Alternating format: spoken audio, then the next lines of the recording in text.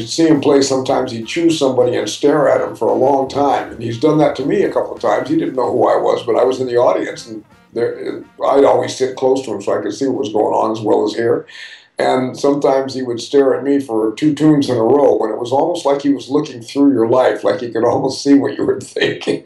it was frightening, actually. You know I mean? Like, you know, but I mean, he was larger than life guy in every way. I don't know him personally, but I'm sure that he was that way too. I've heard a lot of stories from the guy. I know a lot of people that worked with him. Wallace told me one thing that was interesting. He said when Elvin hit harder than any drummer uh, that he'd ever played with. And when he really hit hard, it would actually physically hurt you if you were standing close to him. You know, it would be right in the guts. You know what I mean? Because he was such a big, powerful guy. Sometimes you have to be at that level of volume and velocity to get the feel up, to get what you're looking for out, if that's what you're looking for. And that, in his time period, that was the war cry of great jazz drummers was bashing and crashing. That's what it was all about, you know?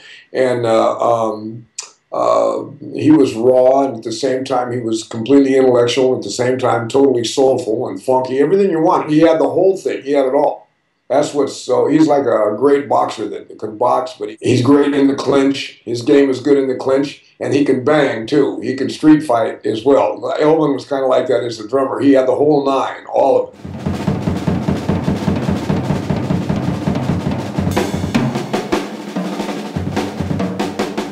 Yeah, Gene Krupa inspired me. And when I was uh, a boy in se- seven to ten years old, I loved Gene Krupa, you know.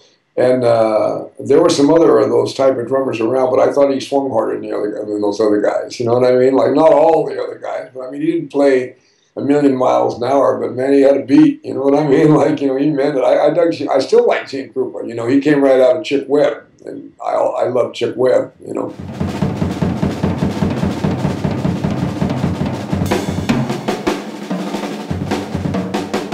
It seemed like when he took a solo, like let's say he's playing a blues, let's say he's trading on a blues, um, it seemed like uh, the bebop language, if you want to call it that, the stuff coming from Klook and Max and those guys, was was uh, being called upon here and there to to it was like an anchor post in between things. But then he'd suspend things like suspended animation. He'd suspend things in the air for a certain amount of time, and it's, and for some people it's really hard to follow. I just roll with it now that I've listened to him a jillion thousand times. I told I don't have to do any. It's right there. I hear it. But I imagine a lot of people that he played with when he if they weren't ready for. In fact, I know some guys that played with him that didn't understand uh, his feel and they didn't understand what was going on with that. Like we understand it because we've listened to it so much. But these guys didn't know too much about him and just got on the stage with him. They're like, what's going on? You know what I mean? And then I've had other guys that, that uh, uh, now I'm talking about uh, guys from 1960 and 70, that time period. You know, that information had been out a long time, so the people of the 80s and 90s were ready for it. It was to them, it was like, hey, let's go. It's not a problem.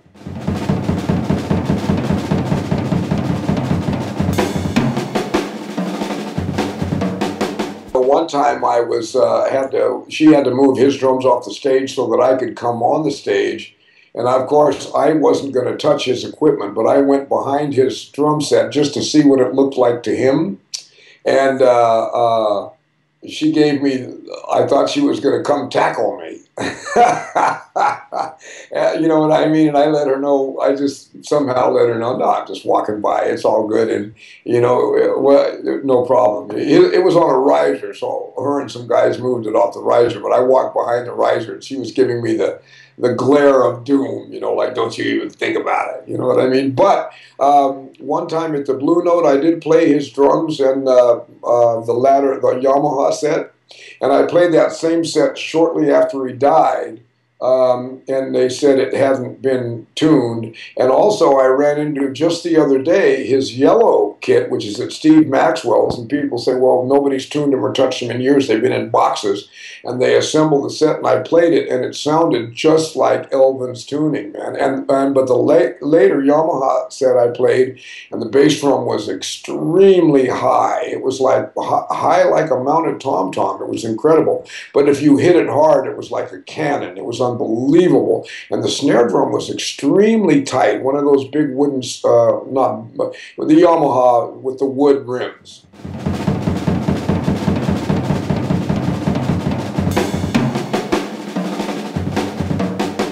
the drums changed and the mics changed. And you know, when he played with Coltrane, there was no amp on the bass. This is something to think about too. There was no amp on the bass. There was no monitors, nothing like that. I used to see Ray Charles, Count Basie, Duke Ellington. There'd be one microphone for those guys to talk on. That was it. And you could hear a pin drop in a huge auditorium. You could hear every part perfectly. And when they got loud, it seemed loud as hell. It didn't seem like they needed any help. But I think nowadays everything changed with all this loud stuff. And it's like, you know, you always have some unnatural sound coming to you. Like when you hear a piano through a monitor, it's not like hearing hearing a piano when you're sitting right next to it, and you're, you know, I mean, it sounds a little tinny or a little this or that. You're, it's a monitor thing. I mean, I know how to do it because I've been doing it so long. But I remember when there was no uh, um, amps on the bass, just the bass player would show up with no amps. And you could feel the time coming up through the, going down through the floor and coming up through your cymbal stands right back through your body. It really felt good. And it seemed like when things got loud, it was normal and everybody could hear everything. But I think over the years, then the bass amp and then this and volume, volume, volume, even for jazz bands, like jazz band, uh, like an East Coast jazz band plays loud and strong. It's not like a, a, a laid back thing. Like a like a, I know a lot of time on the West Coast, you play out there and it's like playing at a supper club and it's a jazz gig. East Coast is much different. I'm from the West Coast, so I can say this. I'm not putting anybody down. I'm just saying that's the reality. And these bands uh, here in, in New York, man, is powerful physically and all. It's demanding. You got to hit, you know. So I see the, the cymbals have changed. Everything's changed.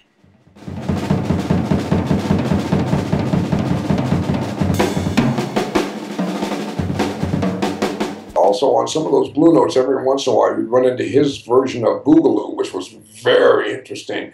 Like on that one record, Heavy Sounds, he plays some kind of a Boogaloo thing on in there, on there, on that album, and he uh, plays some of the same ideas. It almost feels like it's going into swing when he tries to do some ideas. Not tries to, when he does do his ideas. His his vocabulary is what I'm saying. Um, but it really works in that boogaloo thing, and, and it comes up in funny places and has the same sense of humor and the same brilliance about where he's putting things. He just doesn't do it so many times like he does in a swinging. You know, in, in a swinging context, he, he seems to be a lot more improv. But I found that interesting. But and then, you know, towards the end of his life, I'd go see him here and there, even right up to the end, almost to the end, and he was still changing his point of view. It was the, pretty much the same type of thing that he had always played, but um, I, I, don't think he had the energy and the strength at the end when he was sick to throw down quite as hard as he used to, uh, or as hard. But he had uh, dealt he was he was doing new things that I didn't hear him that I hadn't heard him play before. His orchestrations were along the same lines, but he was doing some different stuff. He was squeezing smaller notes in together, maybe uh, uh, like faster and in smaller spaces that seemed like they couldn't fit there. Now he'd always kind of done that, but this wasn't as grandiose as what I'd heard before. But it was intellectually totally stimulating and interesting what he was hearing, you know. So he was still, I guess, as all musicians do, you just keep improving. We're not like ball players who at 35, it could be over, or boxers. Some boxers can last till 40, but not many. But if we can stay alive, we keep improving, as he did, you know?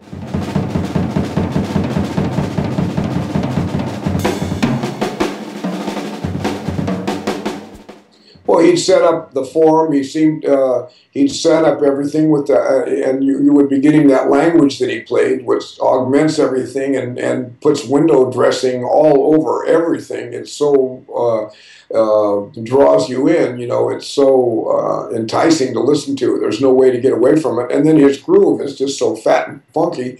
It's just so hard swinging that it makes every, and his brush work is crisp and delightful, and, and he's interesting to listen to. He's constantly uh, stirring the soup, and then when he's not doing anything, that's also interesting. When he just stays out of the way, that's also interesting because you know sooner or later something bizarre is going to jump off, some kind of phrase. We used to just crack up when he'd play these weird phrases and stuff like that. It's not that they're weird, but they're definitely different than listening to Max Roach. I'm not saying one's better than the other. I'm saying like you know, um, very different style. Right. different intentions, different everything. For me, I see it, but I do see the connection is right there. It's you can it's it's easy to hear because he uses the uh, old school bebop type phrasing to set up his stuff. That's why it all makes sense. He's rooted in the in the in the blues and in the in jazz music. That's why a lot of guys you hear fusion drummers that can roll with one hand faster than anybody in the world, and they think that going ding ding a ding ding a ding on the cymbal and playing all their licks is jazz, and it sounds it doesn't sound right because it's the wrong language. It's a different language, and they don't fit jamming 30 second notes into uh, you know like to me it doesn't fit to my way of thinking it doesn't swing you know it but I, it's it's great drumming though like wow. But elvin jones man that's a whole other planet